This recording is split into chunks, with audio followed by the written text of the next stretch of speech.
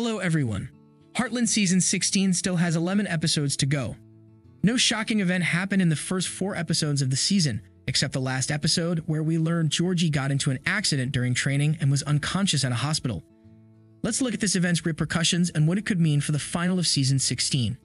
We'd also have two other likely theories that will come true at the end of this season. Let's go over Georgie's accident first. We believe this was included in the story to get Lou out of Hudson because since the start of the season, Lou has been criticized for not being in Hudson enough, especially by Rick. She is the mayor of Hudson, but she is rarely there. She frequently goes to Vancouver to visit Peter. Of course, people start to notice this. And in the latest episode, when Jack and Tim won Hudson's Entrepreneur of the Year award, the tension increased even more because they started to think that Lou made her relatives win the award.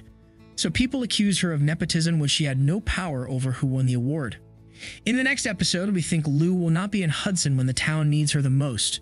In the brief preview for the next episode, it's seen that refugees from a nearby town come into Hudson, running away from a flood. And Rick is talking to someone about the gravity of the situation, which means Lou not being there will definitely be noticed and will cause problems. Although Lou left Hudson to check on her daughter, this doesn't erase the fact that she has recently been absent from her job.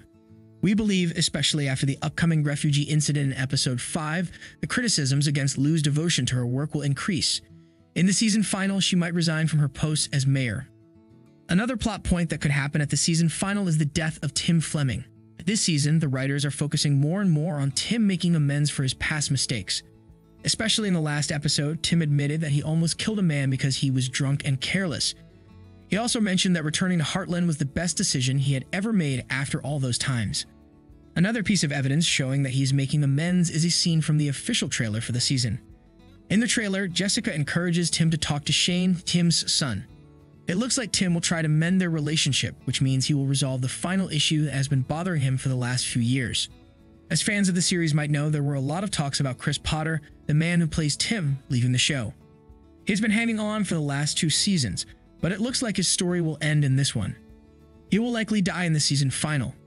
The last ending we can envision for the final of season 16 is, of course, related to Amy. As the previous episode showed us, there is undoubtedly great chemistry between Amy and Finn.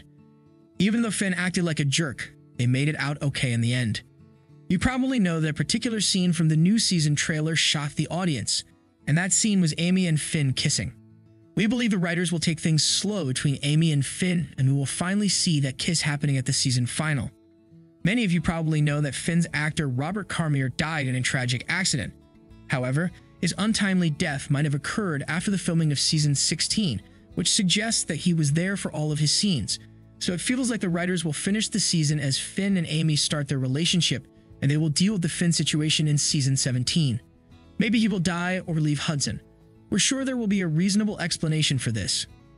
There could also be another storyline where after kissing Finn, Amy could realize Finn is not the best person for her.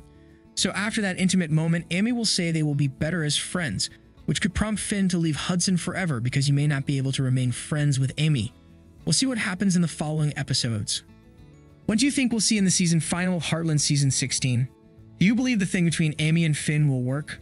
Let us know what you think in the comments section below. Don't forget to like and share this video. You can also subscribe to our channel to see more videos like this. See you soon.